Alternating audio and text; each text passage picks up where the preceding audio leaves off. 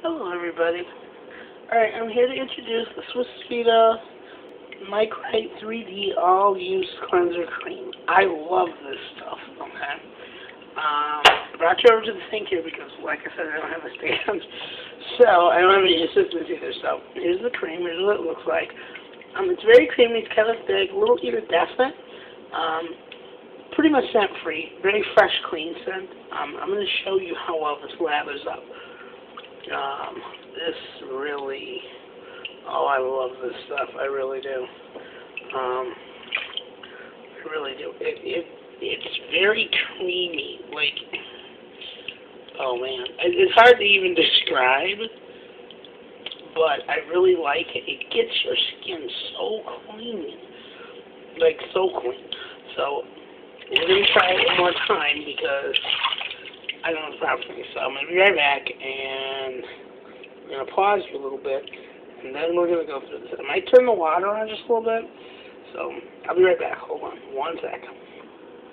Okay, so now we're back. Okay, there's a little dab, and this is how foamy it gets.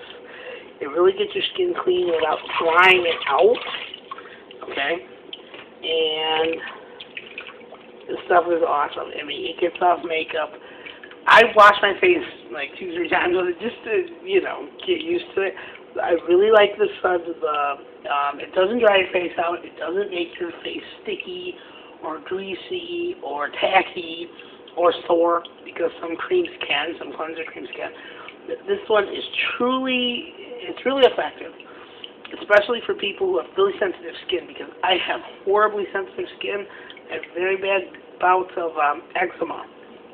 So this comes in handy as far as my face, and neck and all that, about cleaning without drying.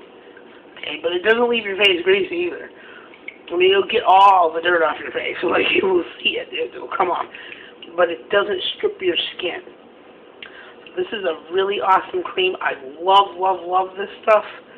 As you can see, I use it religiously. Um, I really like it, though. It really does promote beautiful skin. It will get your skin clean, like deep down pore clean. So I'm going to put the uh, links to the product in the description box below. So follow the links. You can check it out for yourself. I definitely recommend it.